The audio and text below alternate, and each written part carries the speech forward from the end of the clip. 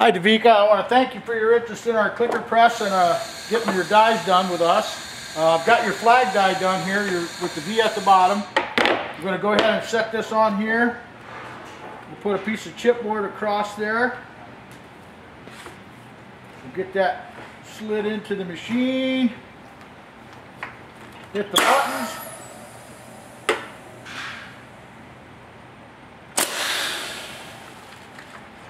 Slide it back out. As you can see, it cut out all your pieces just clean as a whistle here.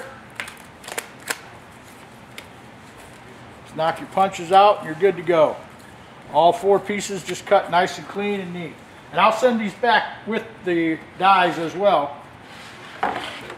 Here's your 4x5 squares that you're going to do. Let's take move that over.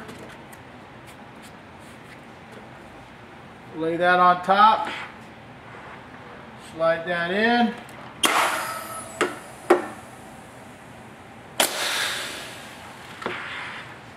And there's your pieces for the 4x5. Nice and quick and easy.